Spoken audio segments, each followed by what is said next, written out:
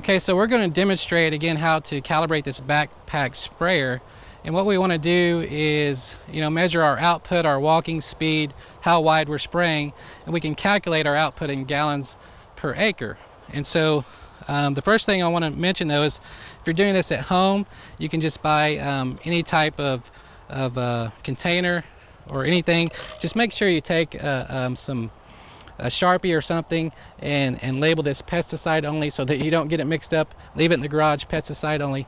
But just something like this that has some marks on it so you can measure uh, volume uh, in, in the cylinder here. Now today we're going to demonstrate this with a little bit smaller cylinder. We're actually going to use a graduated cylinder to measure our output to be a little bit more exact. But again, at home, something like this would work. So I've got my graduate student here, Chrissy Segars, is going to demonstrate this for us. I do want to mention that uh, as I've been showing these things today, we just have water. And if you're doing this at home, you do want to wear protective equipment. And so you see Chrissy has boots. Uh, she's wearing a suit here because we have a backpack sprayer. Also uh, gloves and some eye protection. We just have water today, but at home, if you're doing this, you would also do it with water. But just to be safe, uh, because these sprayers do have pesticides in them at time, always want to take pro uh, proper protection, wear that protective equipment. So again, we're, we're going through this formula to calculate gallons per acre, our output in gallons per acre. So we have to know, uh, based on our formula, it's gallons per minute times 5940. 5940 is just a conversion factor. And then that's divided by our walking speed in miles per hour times our spray pattern or width or the distance across for our spray pattern. So today we've got to measure our output in gallons per minute, our walking speed, and our spray width. So the first thing we're going to do is measure output in gallons per minute.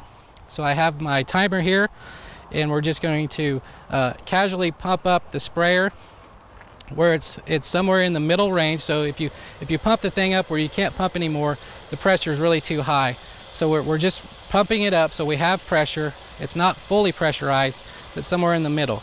And we're going to spray this just for 30 seconds and collect our output for 30 seconds. So we're looking for a final number in gallons per minute. So we, what we collected here, we just have to, we collected that in 30 seconds. We have to multiply it by two and then convert to gallons.